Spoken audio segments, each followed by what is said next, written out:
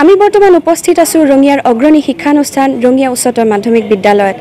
দশম শ্ৰেণীৰ ফলাফলসমূহ ঘোষণা হোৱাৰ পিছত এই বিদ্যালয়খনত বৰ্তমান নামভৰ্তি প্ৰক্ৰিয়া চলি আছে। আমাৰ লগত এই বিদ্যালয়খনৰ অধ্যক্ষ বৰ্তমান উপস্থিত আছে।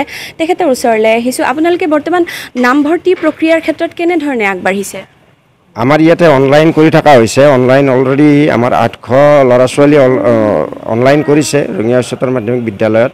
এই প্ৰস্তুতি চলি আছে। ইয়াৰ কাৰণে আমি কৰিছোঁ চাফ চিকুণ কৰিব ধৰিছোঁ। সম্পূৰ্ণ চৌহদটো চাফ চিকুণ কৰিলোৱে তাৰপিছত ৰুমৰ ভিতৰত ৰং কৰাৰ ব্যৱস্থা কৰিছোঁ। ইউৰিনেল বাথৰুম সকলোতে পানীৰ ব্যৱস্থা কৰা হৈছে এতিয়া।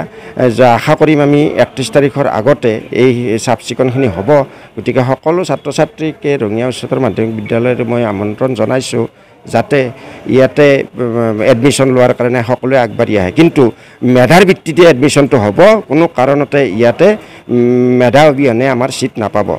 ছিটৰ সংখ্যা আছে ছিটৰ সংখ্যা আৰ্টছত আছে এশ পঞ্চাছটা ছায়েন্সত আছে আশীটা আৰু কমাৰ্চত আছে ষাঠি ষাঠিটা। আপোনাৰ পৰা এটা কথা জানিব বিচাৰিম যে এইবাৰ যিহেতু ক'ভিডৰ বাবে বিশেষ এটা পৰিস্থিতিৰ মাজত ফলাফলসমূহ ঘোষণা কৰা হৈছে গতিকে উত্তীৰ্ণৰ হাৰ এইবাৰ যথেষ্ট বৃদ্ধি হৈছে। আপোনাৰ বিদ্যালয়ত আসনৰ সংখ্যা যথেষ্ট সীমিত এই ক্ষেত্ৰত কি ব্যৱস্থা ল'ব?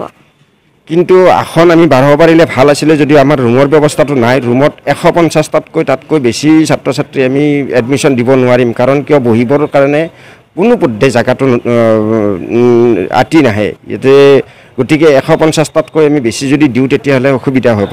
স্কুলখনৰ বিষয়ে স্কুলখনৰ যথেষ্ট অসুবিধা হ'ব। গতিকে আমি ইয়াতকৈ কিন্তু বেছি চিট কৰিব নোৱাৰিম। নিশ্চিতভাৱে ধন্যবাদ। আমাৰ লগত এইবেলি দশম শ্ৰেণীৰ পৰা উত্তীৰ্ণ হোৱা কিছু সংখ্যক ছাত্ৰ ছাত্ৰীও আছে। তেখেতসকলৰ ওচৰলৈ আহিছোঁ। যিহেতু এইবাৰ উত্তীৰ্ণৰ হাৰ যথেষ্ট বৃদ্ধি হৈছে তেনে ক্ষেত্ৰত এগৰাকী নামভৰ্তিৰ বাবে আবেদন জনোৱা ছাত্ৰ হিচাপে আপুনি কি ভাবে? আপোনাৰ মানে সম্ভাৱনা কিমান?